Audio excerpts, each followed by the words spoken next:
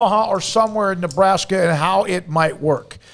We're now well. Let's do this first. Do you have the audio, uh, the audio, Armstrong? This is the video from on Twitter from uh, Alvin Brooks III. Posted this up on Twitter earlier today with also Jerome Tang and James Akinjo. I'm doing good. You doing just you just doing just good? Why are you recording me, Coach? What's going on? You're about to feel great because your waiver cleared. You playing this year. I'll call you right back. Coach, they call some people.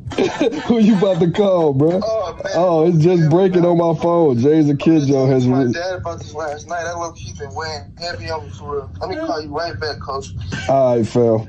All right. Congratulations, bro. Hey, I gotta call compliant. I gotta call Q. hey, call Q. Q said he expected 25 and 10 and a photo photo one assist turnover. All right. All right, so that was Jerome Tang, Alvin Brooks, and uh, and James Akinjo from Arizona. A waiver has been cleared by the NCAA. We had James on when he committed to come to Baylor to transfer. He joins us now live. Baylor, uh, James Akinjo on SicEm 365 Radio. Can you? We saw the emotion. Can you kind of describe the day you've had today, James? I had a good day. Uh, woke up, worked out, and uh, went to class. Came home and ate. I just got a shower when uh, I got a FaceTime call from coach. And uh, when you know he always regular calls me when he FaceTime me, I knew something was up. I didn't know exactly what. So I'm like, "What's going on?" And uh, Coach Tang just hangs up. Like, I'm gonna call you right back. And I'm like, "Man, what's going on?" And he called me back and sang in the back recording me. So I, I didn't know what was going on, but I was hoping there was some good news. And you know, it was even better than what I hoped for. So I'm just very thankful for God for an opportunity. How nervous were you about it? You said, I mean, that's that was a lot of relief we just saw there on your face. It was it was weighing on you a little bit.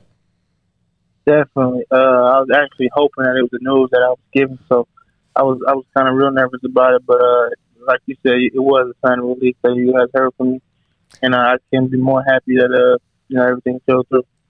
Yeah, I think that's awesome that they they called you the way they did and recorded it, so you can have that memory. Uh, because it was really cool to see your your reaction and how excited you were. And you were saying you're like, I, I got to call you right back. Did, who who did you need to let know about what the what the news was? You have family to call and things like that. Yeah, man, I had to call my family family first. I had to call my my grandma, uh, my uncle, my auntie, my pops. Uh, I had to call everybody. I was close to my family. What was their reactions? Man, they were so happy for me. Uh, they know how I've been working. They know, you know, we all God fearing people. So, you know, we all put God first. And, you know, we, we just super happy, super blessed for the opportunity.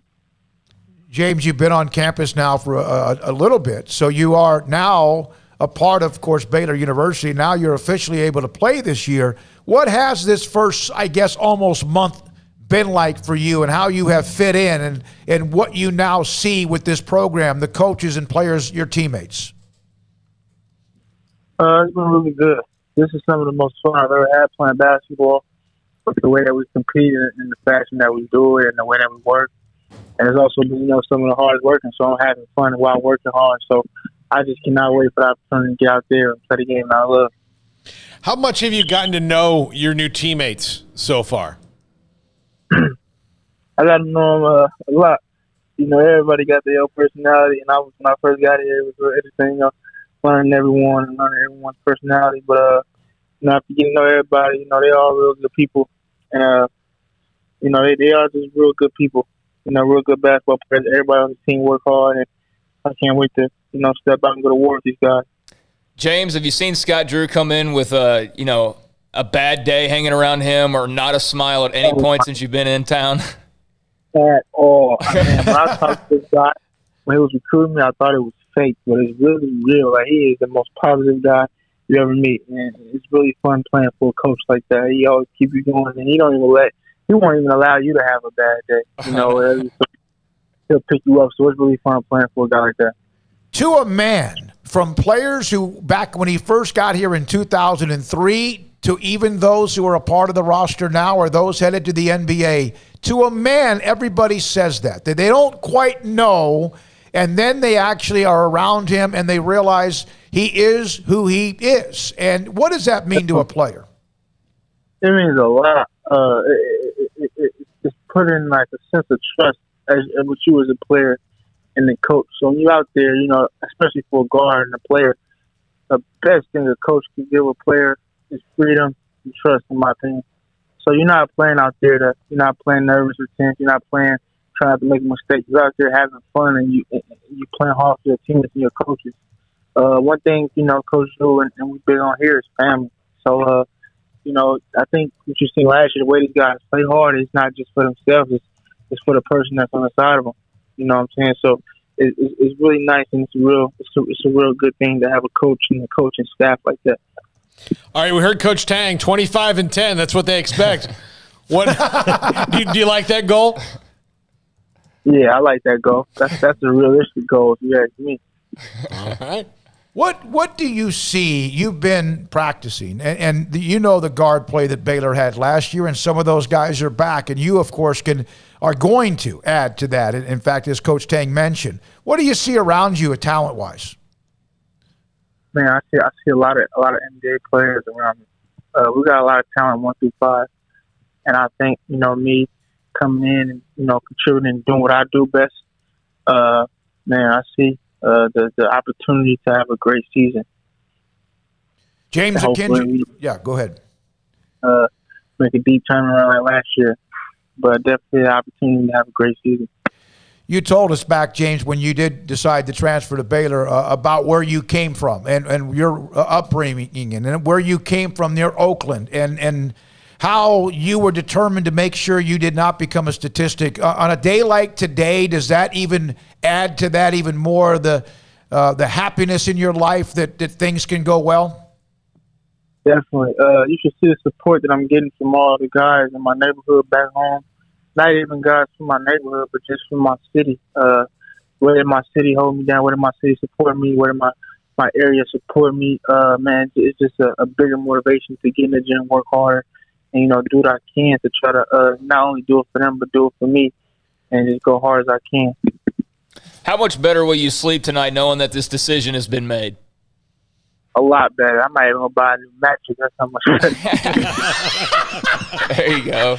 You're gonna go buy a new mattress? Is that what you said? Yeah, every, everything new, man. That's how I'm feeling. I'm, I'm just really excited to, you know. But not realistically, it, it makes you want to get in the gym even more. Now that you know that you will have an opportunity to go out there and compete with your brothers, guys you work hard with every day. Man, I'm just so blessed. I, I just keep saying I'm blessed because I thank God every day for this opportunity yeah, I can imagine if this thing would have gone the other way, it would have been hard. We wouldn't have even asked you to come on the air because it would have been brutal. Uh, the, the, the, joy in your life, and there's that word joy again that Baylor brings to their their program. Craig, yeah, James, I apologize if we asked you this the last time. I can't quite remember, but you've spoken a lot. I mean, your faith is evident when you're talking. How much is that openness, that message of faith, that that belief? Uh, that you can have at Baylor and maybe not so much at every other school around the country. How much of that was a draw for you? Uh, it, it was definitely a draw because, like I said, my family has raised me putting God first. You know, so my grandma, you know, when she really got a chance to dive into the culture and find out what type of guys I would be around, uh, she she loved it, and that's big for me because if I'm somewhere, I got to know that my family comfortable with me being here. You know, my family got to trust the people that you know I'm in good hands here, and uh, so playing here, it's not just gonna help me become a better basketball player, but you know, it's gonna help me become a better person, a better individual. Help me continue working on myself every day and just, you know, do some good in the world and kind of share my blessings with whoever I can help touch and reach when after this basketball stuff is over with. So uh, the culture here, I, I love it. And I'm, I'm so thankful that God put me here in this place. I believe that this is all part of His plan. No question about it. Uh, can you explain if there's been ever a call like you got from Coach Tang? Similar to what made you have that kind of emotion? Not even basketball terms. Anything else? Nah, nothing like that. I don't even, nah, nothing like that. Boy, you could see it. You could feel yeah, it. Was it was awesome. I'm glad they yeah. recorded it. It's yeah. very cool, and you'll be able to look back on that. Your kids, family, everything. I think that's great that they did that, and your genuine reaction. I put put a lot of smiles on people's faces today, so that's great. James, yes, James, go get that mattress, man. Yeah. Go, go get the mattress. go, go, sleep well, and and that's that's so awesome to see your emotions, the raw part of it as well, the real part of it. Thank you for your time, and go relax and take a deep breath. But I know you'll go full throttle with energy as well. Thank you. Yes, sir. Appreciate you, coach. James Akinjo, uh, Arizona uh, transfer. That that reaction, Armstrong. Can you pop that up one more time? Yeah, that, that, we have to. But see. his answer to the faith aspect, Oh, I think, was a brilliant answer and put it on a recruiting loop for Scott Drew and company. Honestly, I mean, Absolutely, they can take it and, and use it all they want. Here, here again is Jerome Tang. He talks and calls, and coaches are always talking to the players. Here he is again. I'm doing good. You doing just you just doing just good. Why you recording me, coach? What's going on? You about to feel great because your waiver cleared. You playing this year. I'll call you right back. I'll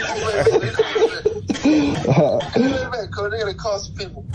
Who you about to call, bro? Oh man. Oh, it's just breaking on my phone. James Akinjo has. my Re- dad about this last night. I low key been weighing heavy on me for real. Let me call you right back, coach. All right, uh, Phil.